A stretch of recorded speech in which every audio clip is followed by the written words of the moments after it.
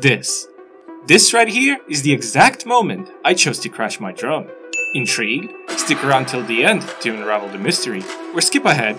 It's your call, I'm not here to boss you around.